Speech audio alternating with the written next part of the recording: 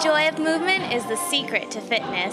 Hi, I'm Veronica with WatchMojo.com, and today we're taking a look at a workout that is inspired by your body. So, what exactly is the NIA workout? It's a combination of martial arts, dance, and also other approaches like uh, Feldenkrais, uh, yoga, and Alexander technique. So it's a kind of fusion of the basics of these techniques or methods. How is the NIA workout inspired by your body? The two creators of this technique, Debbie and Carlos uh, Rosa, created a kind of workout inspired on natural time. That means that people are invited to move at their own speed or at their own rhythm. We often work with a kind of movement of reference. So let's say we have something going on with the feet, but the upper body is free. So you can create your own movements. It's a lot about exploration, which is something everybody can do. There's room for all kind of body or if you have a story, let's say injuries, it's always possible to tweak movements and make them work for you. The NIA philosophy is no pain, all gain, but how can one expect to see results?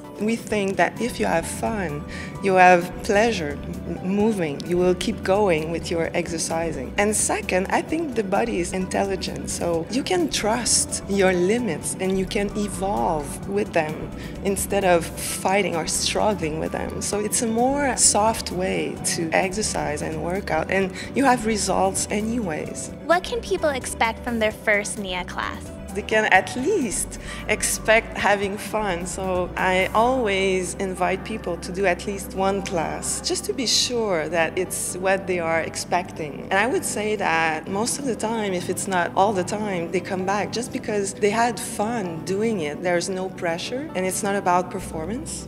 So we try to bring people to move for themselves first. I think it's the reason why we can mix many kind of profiles and different ages in the same class. Everybody can feel comfortable because it's not about performance, it brings us somewhere else. Well, thank you very much. You're welcome.